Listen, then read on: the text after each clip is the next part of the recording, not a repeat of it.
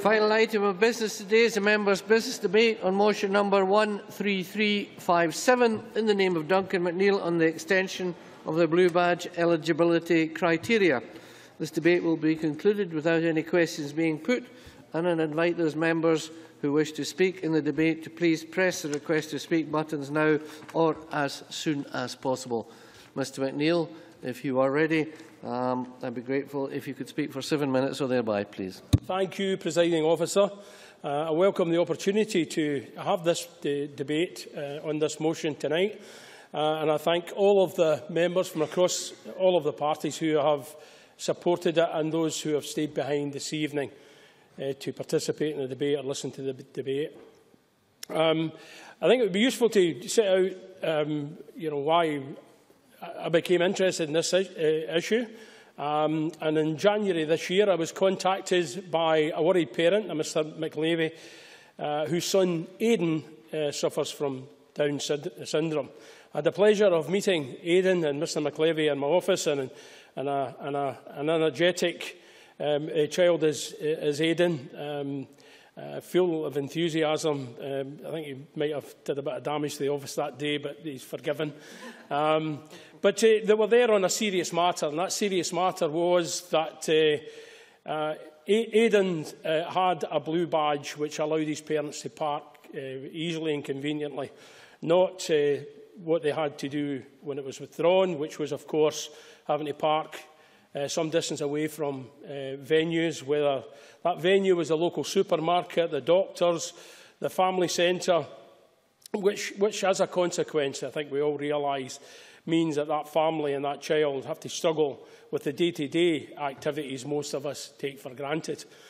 Uh, this, this is because of Aidan's condition.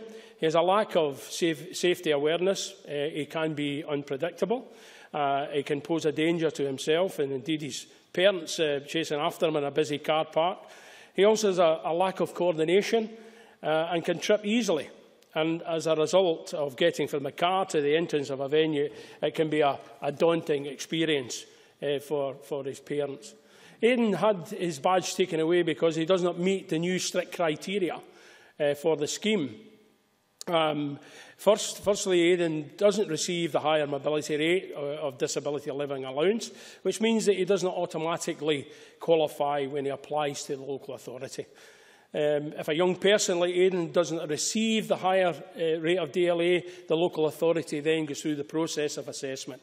However, new to the strict criteria, um, the, the, to issue the, the, the, the, the blue badge, the local authority must satisfy, that, uh, satisfy themselves that the applicant is unable to walk or virtually unable to walk. And it's clear from uh, meeting uh, uh, and speaking with Mr McLevy that having that blue badge, although he doesn't fit that criteria, having the blue badge with, withdrawn uh, it, it, it was an essential uh, in allowing his family to go about the day-to-day -day activities that most of us, as I say, take uh, for granted.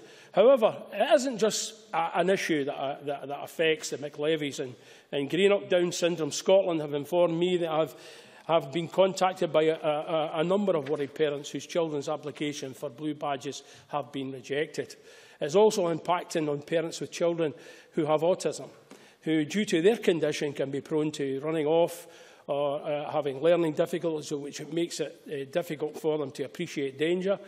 Um, and, and I will re read you an extract from a submission uh, made uh, by a concerned parent to Transport Scotland's consultation on extending the Blue Badge scheme to people with mental health conditions, which was launched a way back, a way back in September 2013.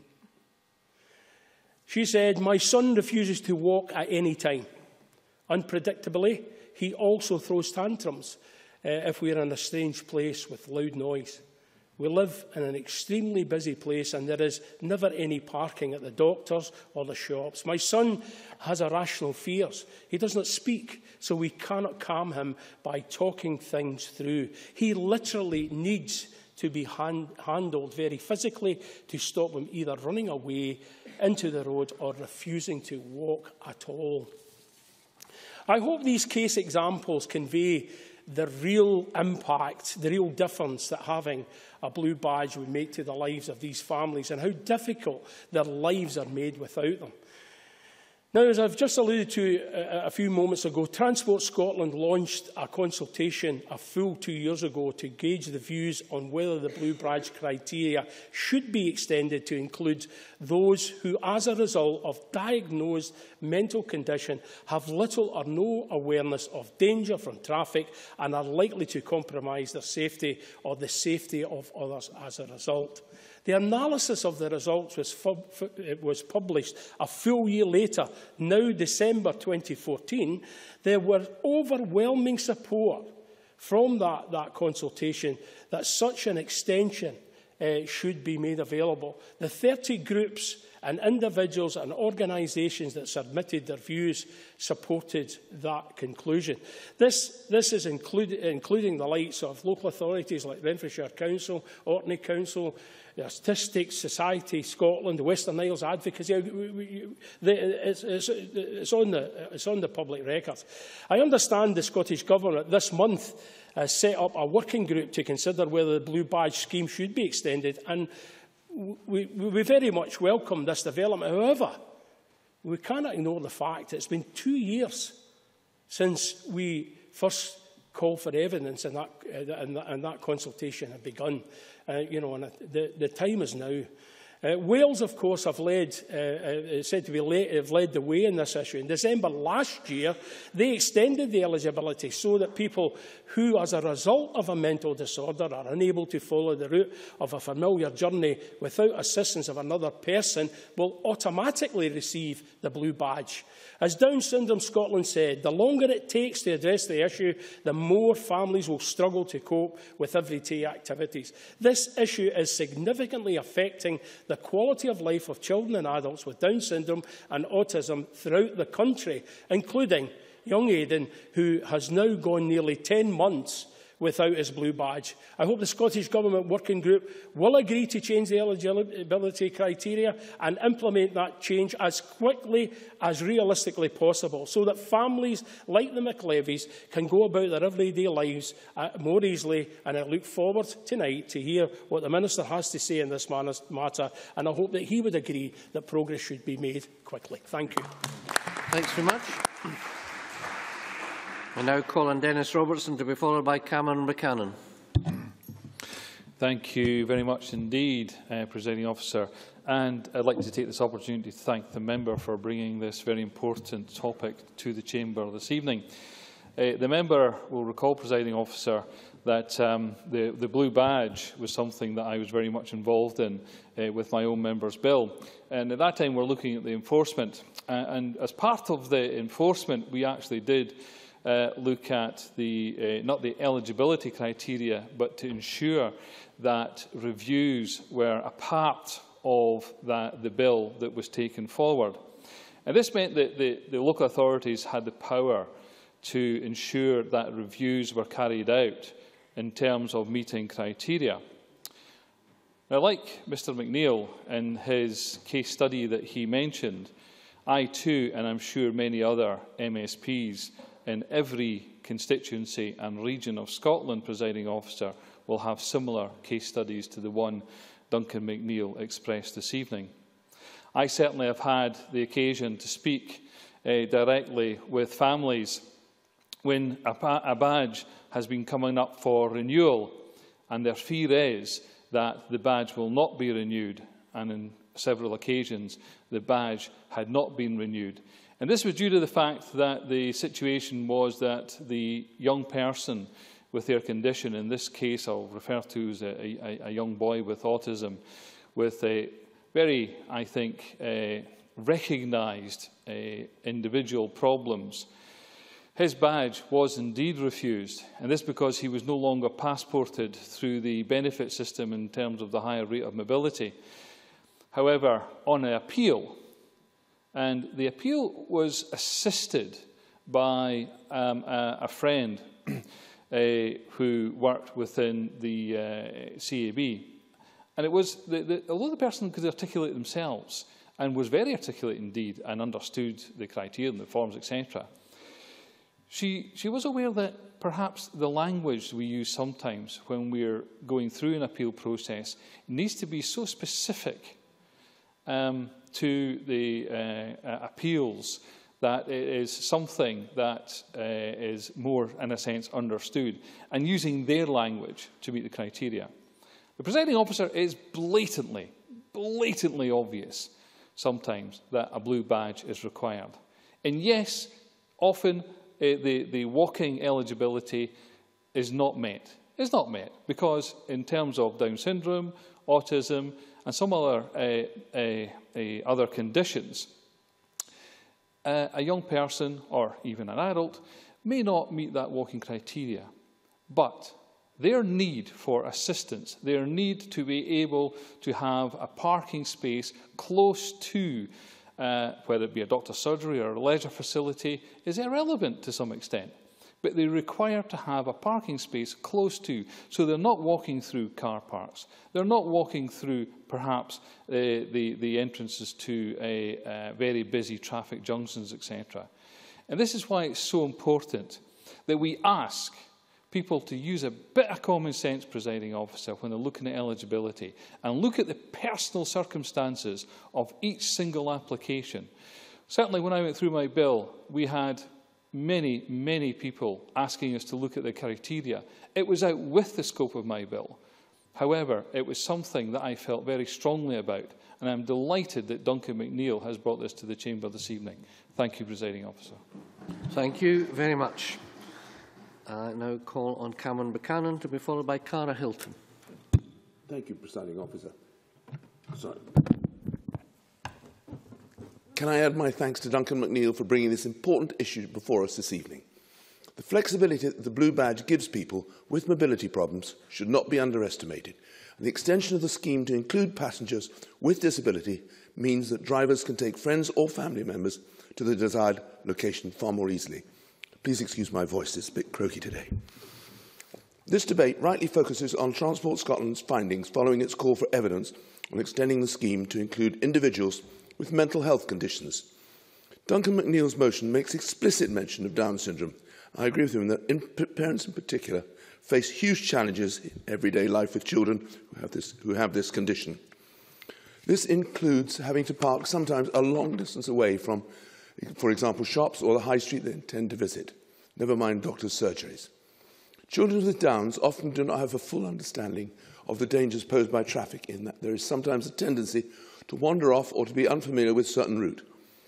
It should be emphasised and recognised that just because a child can walk ably, this does not mean that he or she is not a danger to themselves or others with passing vehicles. A blue badge would help address those concerns by allowing parents to park outside, excuse me, or as near to the venue that they wish to visit as they can. The motion also refers to the discrepancy between the assessment process for under 16-year-olds, including young children and teenagers and all those over 16. Whilst I do support the Conservative government's welfare reforms to tackle the culture of dependency, sadly one of the knock-on effects of such measures means that changes to the rate paid in mobility allowance for those children with Downs has led to changes in the issuing of blue badges. I personally believe that this is anomaly needs to be rectified as soon as possible. I would support Transport Scotland's working group in investigating how, close we, how we can close this loophole that connects benefits and parents having blue badges of their children with Downs. Of course, Downs is not the only condition which should be covered by the blue badge. Autism is a condition which alone affects nearly 5,000 people in Edinburgh, including 850 children, approximately. Duncan McNeil has already spoken of his constituents see, of his constituent Aidan McLevy from Greenock, who has Downs. I would like to mention one of my constituents, Owen Martin, whose nine-year-old son, Theo, has autism and has recently lost his blue badge due to, due to changes in assessment. Although Theo can walk for 40 metres, which is a new criteria for accessing eligibility, this does not take into account the fact that when his father parks, he can no longer use the disabled space.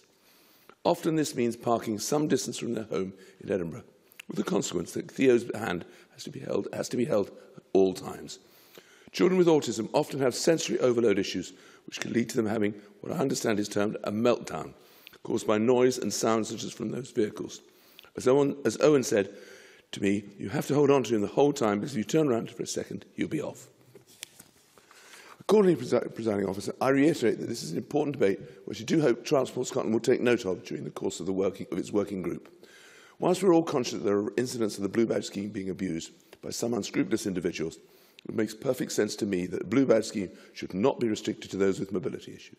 People with mental health problems, especially children, should not be discriminated against, and I therefore wholly support this motion. Thank you. Thank you very much. I now call on Cara Hilton to be followed by Mark MacDonald. Thank you, Presiding Officer. Can I begin by congratulating my colleague Duncan McNeil on securing this important debate tonight, highlighting the need for the Scottish Government to extend the eligibility criteria for the Blue Badge scheme. I would like to take the opportunity to highlight the case of one of my constituents, Philip, who has got autism. My constituent is in his early 20s and he's been told that he's not eligible for a Blue Badge. He was told that the assessment has to be based on his walking functionality, not on his autism. Yet Philip's autism means he's unable to negotiate traffic and has got very little sense of danger.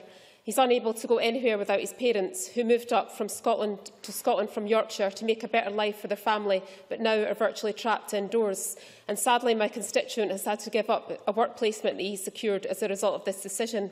Philip has been told that he will qualify when he's moved on to personal independence payments, but that he is in the, one of the last groups to be moved over and so has just got to wait. No indication has been given of how long his wait will be. He's already been waiting for more than a year. Presiding, Deputy President Officer, this is simply unacceptable. As members will be aware, the Welsh Government has already extended the blue badge criteria in Wales to include individuals that can't follow the route of a familiar journey with another person. And if my constituent lived in Wales, he would be automatically entitled to a blue badge right now. I know that the Scottish Government have established a working group to look at this, but progress has simply been too slow, and I think this really is undermining people's quality of life.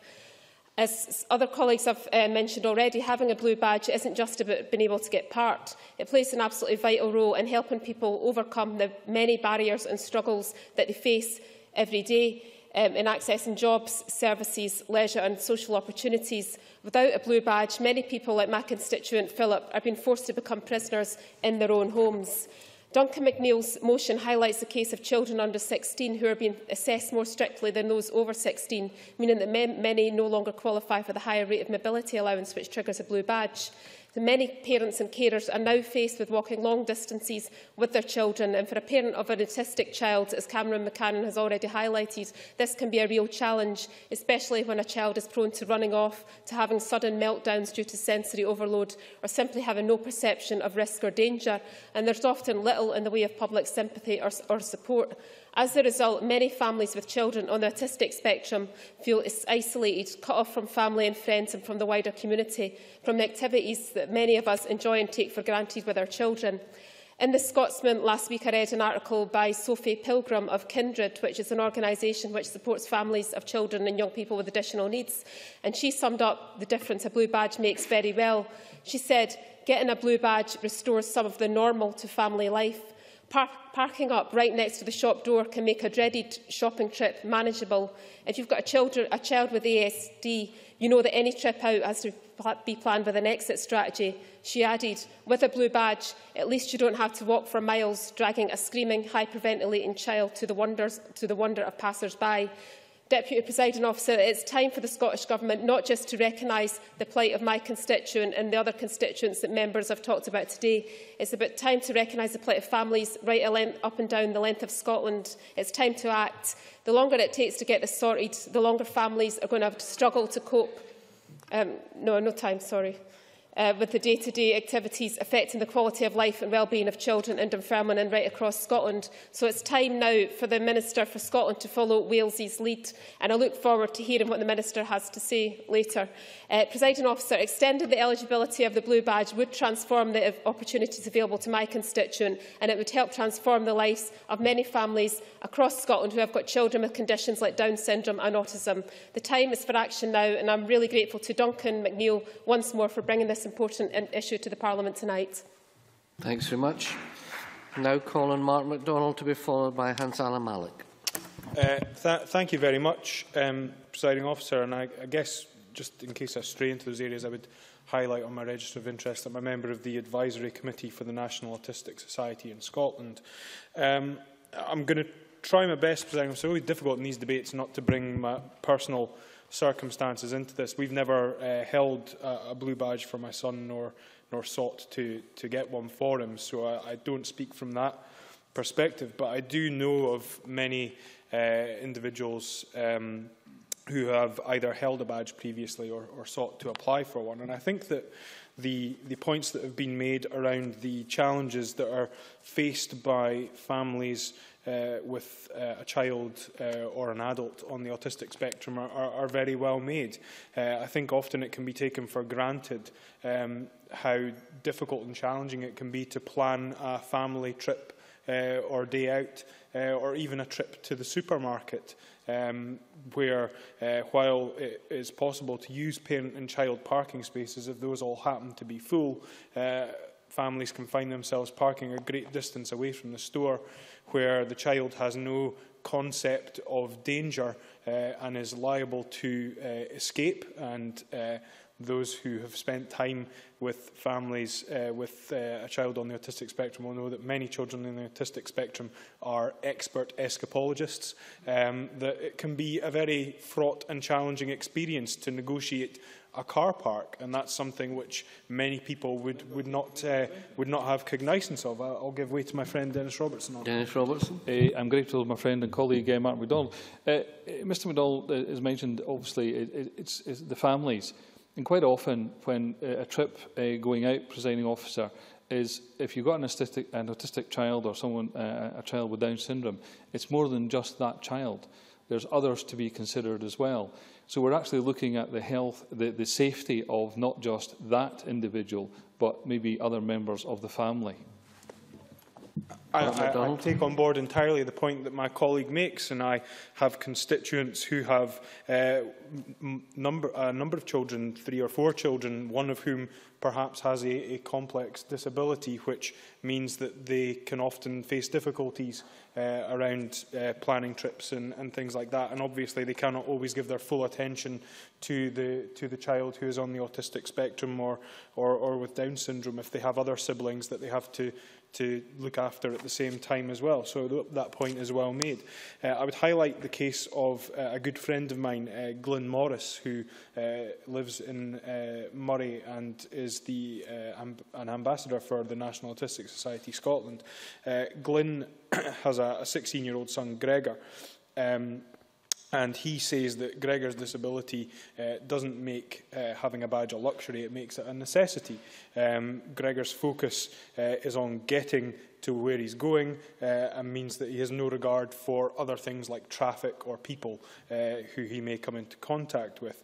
Uh, while Gregor may be able to follow the route of a familiar journey uh, unassisted, he may not be able to do so safely. And I think that's an important distinction that we need to make, is it's not just about an uh, individual's ability to walk unaided, it's an ability to do so safely. Uh, I uh, think that the point that uh, has been made around the extension of the criteria is well made. I would note the evidence that was received, uh, particularly from the National Autistic Society Scotland, that perhaps the terminology is crude uh, in its application and perhaps looking at cognitive difficulties uh, might be a, a better way of expressing something because there are many who would consider mental disorder or mental health impairment to be a crude uh, way to describe Down syndrome or autism, and that perhaps needs to be looked at.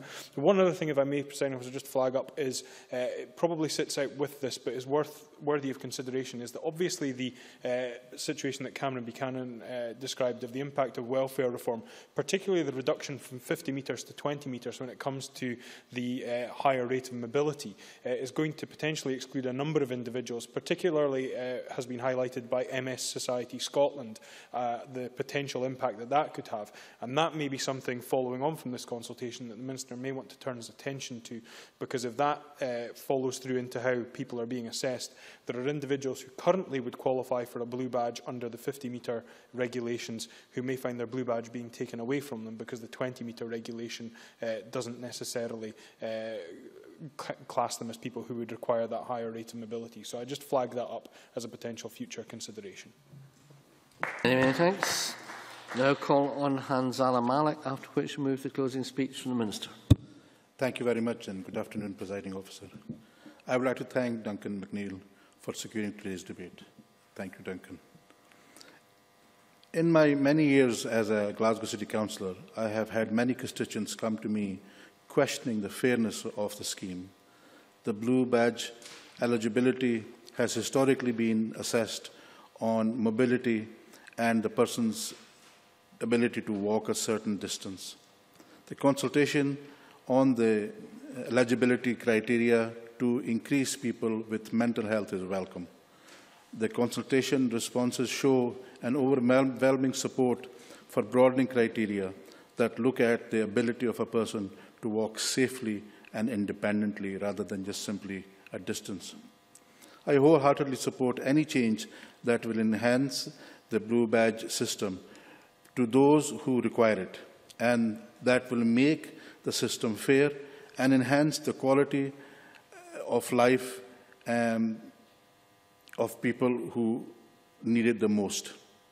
The problems highlighted by uh, Down Syndrome Scotland about the an anomaly between children aged under 16 receiving disability living allowance and those receiving personal independence payments is unfair and unacceptable. One of the reasons for the Smith Commission recommended that powers over benefits for people who are ill or disabled was so that the Scottish Parliament can identify and respond to these issues itself. And that also is welcome. I have one uh, note of caution that we broaden the criteria to include the, the very every every range for disabilities and conditions that is needed. However, local authorities staff need to have the skill and ability to assess the need for the blue badge fairly.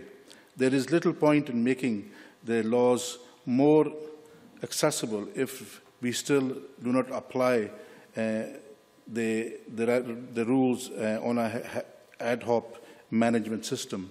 In addition, the, lo the local authorities need to ensure that sufficient safeguards are in place to prevent the abuse of the blue badge system. I have seen occasions where a blue badge has been used by relatives or friends rather than the actual person the badge was intended for.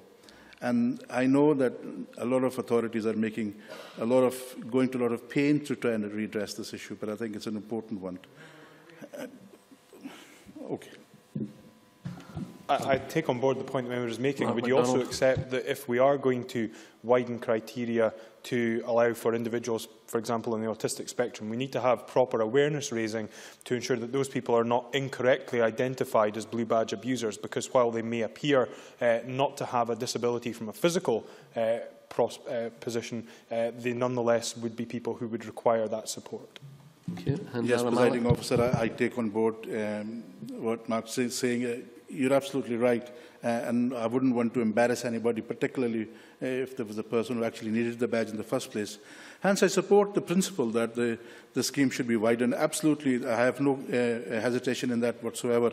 However, I also feel that the, the staff of the various authorities need to have the appropriate training to, to handle the situation on the ground. I know I'm, when someone parks in a disabled way, what I don't want to see is somebody opening the door and falling out of the vehicle and, and crawling to wherever they're going. That is not the point I'm trying to make. The point I'm trying to make is that the, ba the badges that are used are used appropriately, and we need appropriate training for people to, to carry out their, their duties. And I think that's important. Thank you very much, Presiding Officer. Thank you very much.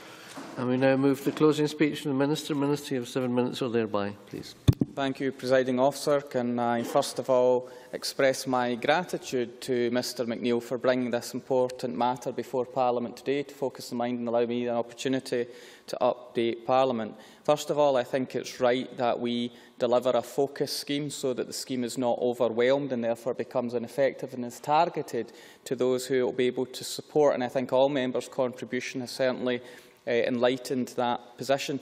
The second thing I want to say is something by way of a and an apology, I suppose, to Dennis Roberts and Mark MacDonald, who raised the specific issue of terminology and language, to which I agree. Some of the terminology I use in my contribution is terminology I would not use, but it hangs on the legislation. Therefore, accuracy, I have to use a term such as mental disorder, which is not how I would choose to describe um, such uh, conditions. But if you forgive me, presiding officer, I'll do so for the sake of at least legislative uh, competency, but don't underestimate the sensitivity uh, of the, the subject. Uh, the Blue Badge scheme and the parking concessions it provides help people across the country access essential lifeline services, many of which would be unobtainable without the use of a badge.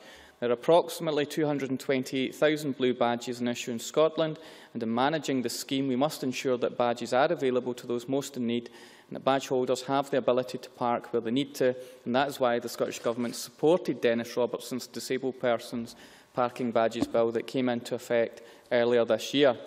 That Act, of course, is focused on enforcement and uh, the circumstances and the clampdown on fraud uh, and misuse. And that demonstrates our continued support to ensure that the scheme is best serving those who have a genuine need to use it. With regards to eligibility, I think it's important to set out for clarity the different ways in which someone can be eligible for a blue badge uh, currently. A badge can be issued either without assessment, generally where the applicant receives a passport from another benefit such as a DLA or PIP, or following assessment by a local authority. The scheme has gone through a significant reform process over the last few years, uh, with change, with eligibility assessments conducted by local authorities focused on those, as members have described, those who are unable to walk or virtually unable to walk.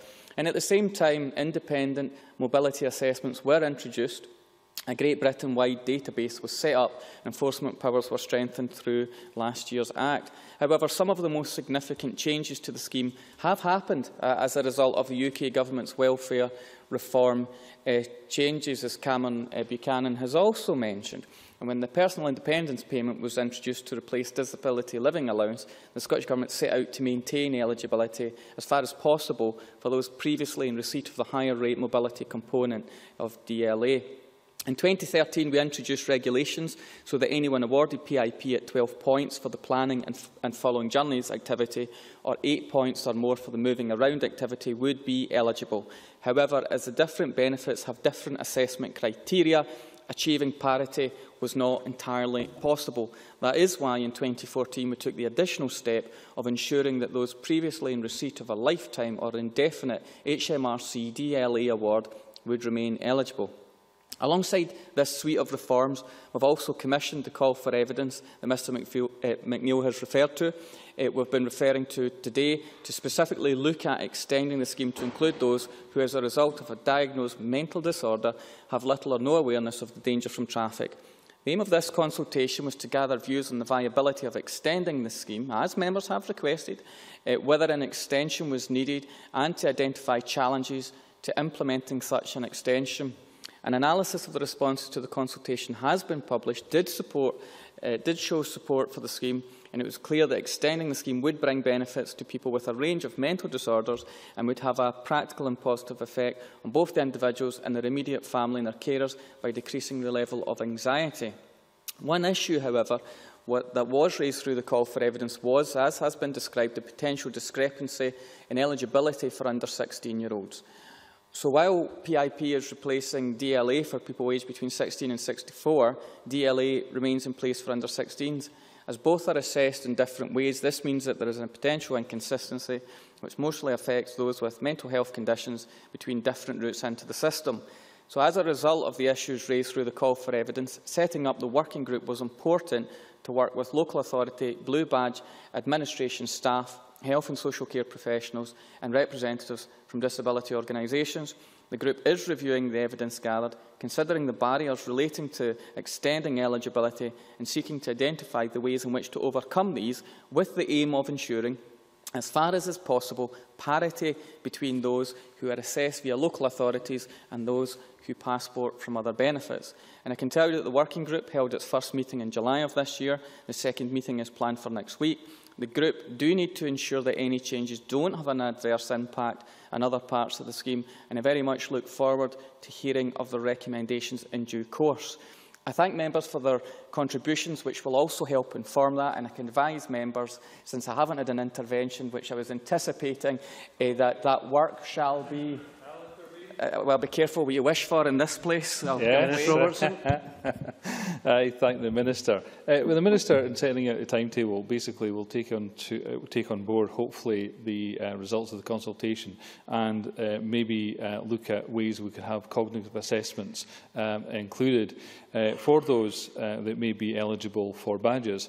I think the Minister hopefully will acknowledge that we are not seeking uh, blue badge eligibility for every person with Down syndrome or every person with autism. And indeed, that cognitive assessment must take into account a person's ability to perhaps uh, be safe when unescorted. So I sincerely hope the Minister will be able to put a timeline and maybe be able to advise us as to whether or not uh, the bill can be amended, and if so, how long that process may take. Minister. I'm very grateful for that intervention because it then poses the question which I was then going on to answer, which was of assistance to Mr McNeil as well, which is around the timescale issue as well. We can debate how long it's taken to get to this place, but what's important now is the progress I think that we can make. So to answer that question, yes, of course, everyone who's eligible may not take up that eligibility to seek the, the blue badge, but certainly want to be as supportive as we can where they want to do that. Uh, so that's a, a helpful contribution. On timescales, I understand the working group should have its work concluded by November. My commitment to the Chamber is to, to take any relevant legislative approach as soon as I can after that but it may be possible in terms of guidelines, only may be possible, I need to seek further guidance, that we may not require legislative change to achieve some of that, and if that is the case, then I'll execute that um, as quickly as possible to, to deliver this uh, as, as effectively, efficiently and quickly as I possibly can, presiding officer. Thank you very much and thank you all for taking part in this important debate. I now suspend this meeting of Parliament.